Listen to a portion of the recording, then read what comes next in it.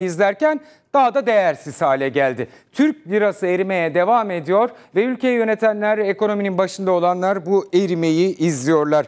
Dolar 10.40'ı gördü. Eskinin parasıyla söyleyeyim hadi tamam sıfırlar atılmadan önceki haliyle 10 milyon 400 bin lira. Bir Amerikan doları 10 milyon 400 bin lira sıfır atılmadan önceki hali. Yani bu şu anlama geliyor Türk lirası tarihin en değersiz seviyesinde.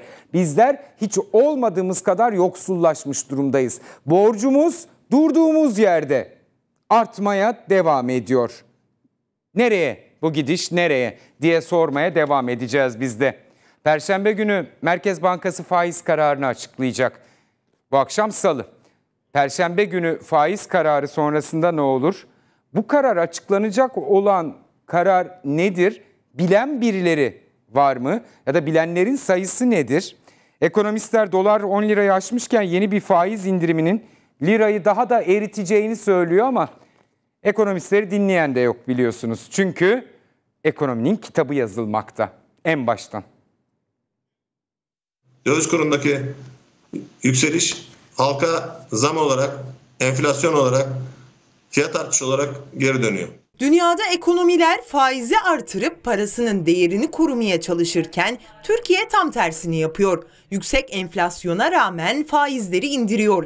Bu da liranın daha da zayıflamasına neden oluyor. Enflasyonun %20 olduğu bir ekonomide %16 faiz veriliyor Merkez Bankası. Dünyadaki tüm ülkelerde enflasyon artıyor. Dünyadaki tüm ülkelerde merkez bankaları faizleri arttırıyor. Biz örnek ülkeyiz. Dünyada faiz düşüren tek ülkeyiz. Bu eğilim üreticiler ve perakendecilerin fiyatlama davranışlarının da bozulmasına neden oluyor. Yüksek kur ihracatı destekliyor belki ama bunun halka faturası çok ağır. Ama bizim hükümetteki strateji öyle olduğunu söylemese de fakiri daha da fakirleştirip zengin daha da zengin hale getirip gelir dağılımında gittikçe bozulmasına neden olan stratejiler gidiyor. Dövizi yükselten arka arkaya gelen faiz indirimleriydi. Hem Eylül'de hem Ekim'de. Merkez Bankası şimdi Kasım için toplanacak. Perşembe günü yeni faiz kararı açıklanacak. Ekonomistler bu toplantıdan da faiz indirimi kararı çıkacağını düşünüyor. Öngörüleri öyle. Ekonomist Oğuz Demir dolar TL 10.20'ye geldi. Sadece 2,5 ay önce 8.30'lardaydı. Koşa koşa tükeniyoruz ama gözümüz Merkez Bankası'nın daha ne kadar hızlı tükeneceğimize ilişkin kararında. Yeter ama artık diye tepki gösterdi. Ekonomi yazarı Alaaddin Aktaş dün arabama benzin aldım pompa sayacı bile doların bugünkü hali gibi hızlı dönmüyordu dedi. İktisatçı Fatih Özatay para politika kurulu toplantısında ne olacağı tam bir muamma. Neden? Çelişkili söylemiyle karanlıkta bırakıyor Merkez Bankası. Sözde enflasyona önem veriyormuş gibi.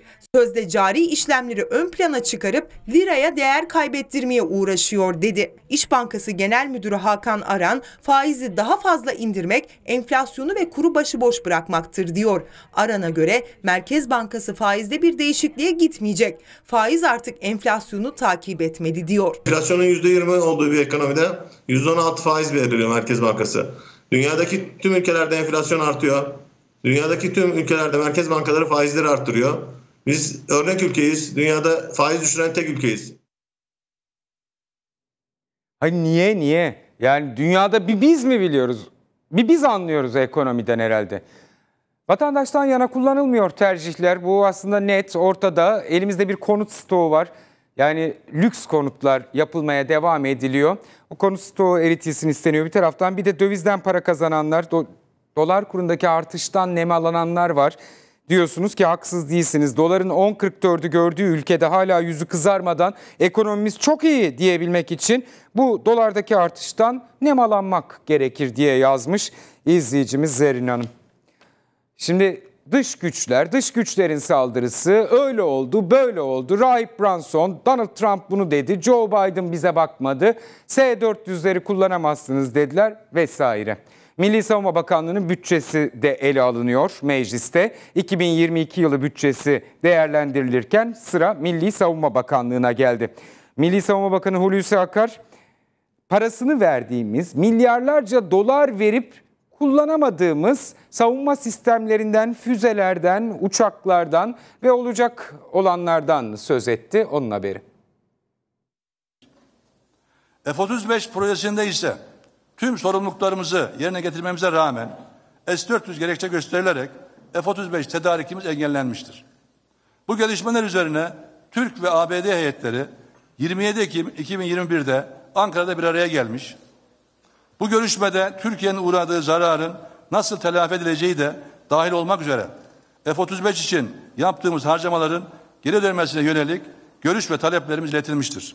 Milli Savunma Bakanı Hulusi Akar, ABD'nin S-400 krizine karşılık verdiği F-35 savaş uçakları için konuştu. Mali hususlarda ayrıntılı olarak müzakerede bulunmak üzere 2022 yılı başlarında ABD'de yeniden bir araya gelinmesi hususunda taraflar mutabık kalmışlardır. Türkiye Büyük Millet Meclisi Plan ve Bütçe Komisyonu'nda Savunma Bakanlığı'nın bütçesi görüşüldü. Hulusi Akar, Rusya'dan 2,5 milyar dolara alınan S-400'lere de yer verdi. S-400 bir savunma sistemi olup S-300 NATO ittifakı içinde nasıl kullanılıyorsa S-400 sistemi de bizde aynı şekilde kullanılacaktır. S-400 savunma sisteminin ihtiyacı karşıladığını belirten Akar, F-16 konusunda ABD hükümetinden ılımlı bir adım beklediklerini söyledi. Milli Savunma Bakanı Türkiye'nin ABD'nin tavrına göre hareket edeceğini belirtti. Konuya olumlu yaklaşabileceğini düşünüyoruz. ABD'nin tavrının olumsuz, olma, olumsuz olması durumunda Türkiye, bizler içinde bulunduğu tehdit ortamında güvenliğini sağlayabilmek için zorunlu ve tabii olarak başka alternatifleri değerlendirmek durumunda kalacaktır. Kimyasal silah iddialarına da yanıt verdi. Türk Silahlı Kuvvetleri envanterinde kesinlikle ve asla herhangi bir şekilde gaz, kimyasal silah yok. Böyle bir şey söz konusu değil. Ne alındı, ne saklı, ne gizli. Böyle bir şey yok. Bu kimyasal silahların nereden alındığı, nereye gittiği takibi çok kolaydır. TSK'nın son derece onurlu ve şeffaf bir şekilde yaptığı terörle mücadeleyi lekelemek için bu tür iddialar periyodik olarak tekrarlanıyor. Ha, milyar dolarlar verdik Rusya'ya da Amerika'ya da Amerika parasını verdiğimiz uçakları vermiyor. Biz yenilerini alalım o zaman diyoruz. Bir taraftan dönüyoruz Moskova'ya. Tamam parasını verdik kurduk bunları da şu anda nasıl kullanacağız? NATO üyesisiniz diyorlar bir taraftan. Paralar nereye gitti diye soranlar.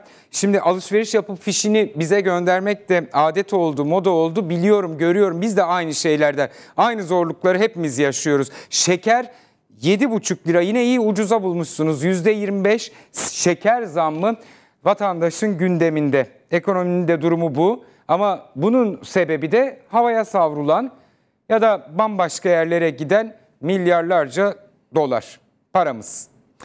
Ee, park yaptık diyorlar daha doğrusu millet bahçesi. Millet bahçeleri için 97 milyon lirada yeni kaynak ayrıldı. Sezgin Tanrıkul da yine komisyonda sordu.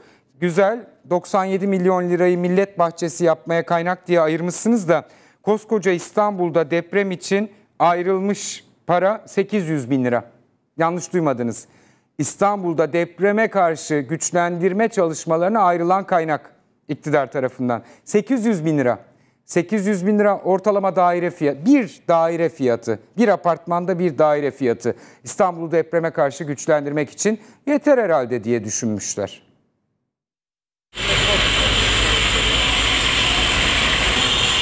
Olası İstanbul depremi, yıkılacak yüz binlerce bina, hayatını kaybedecek on binlerce insan. Öngörü değil, kesin bir bilgi. Peki yıllar öncesinden bilindiği halde ne gibi önlemler alınıyor? CHP milletvekili Sezgin Tanrıkulu bu soruyu Çevre ve Şehircilik Bakanlığı'na sordu. Bakanlık yanıt verdi. 2021 yılında binaların güçlendirilmesi için ayrılan bütçe 800 bin lira. On binlerce insanın ölmesi kesin olan bir depreme karşı. Hükümetin ayırdığı bütçe bu. 800 bin lira. Para mı yok? Hayır var. Nasıl eminiz peki? Bakanlığa bağlı TOKİ'nin verilerinden. TOKİ'nin açıklamalarına göre depreme karşı hazırlık için 800 bin lira ayıran hükümet sadece 3 millet bahçesi için 2021 yılında toplam 96 milyon 800 bin lira bütçe ayırdı. Eski parayla 96 trilyon 800 milyar lira. Yatıp yuvarlanmamız için.